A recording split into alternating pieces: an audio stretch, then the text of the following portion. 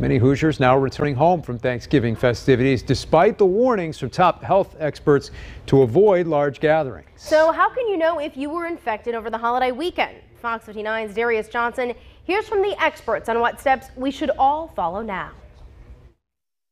If your family traveled, you have to assume that you were exposed and you mm-hmm. became infected. New warnings from health officials as they prepare to assess whether Thanksgiving became a super spreader event. When you're traveling through an airport or on an airplane, there's an increased risk for infection. The Marion County Public Health Department says the ideal time for testing is five to seven days after exposure. If you go too early, that could result in a negative result because there isn't enough of the virus in your body yet. Well, we know that symptoms can occur two to 14 days after exposure.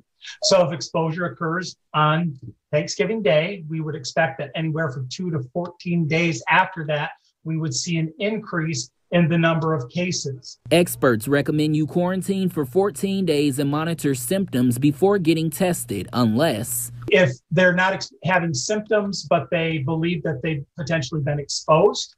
Um, then that's still uh, grounds to get tested and they should pursue testing. It could be nearly two weeks before we know whether or not there is a spike due to Thanksgiving travel. And so we should shortly after that, uh, we should, if we're going to see an increase in hospitalizations, we'll see it in that similar time period, perhaps lagging by a few days. Followed by deaths, something researchers are watching closely after seeing the largest travel period since the start of the pandemic. Reporting in Indianapolis, I'm Darius Johnson.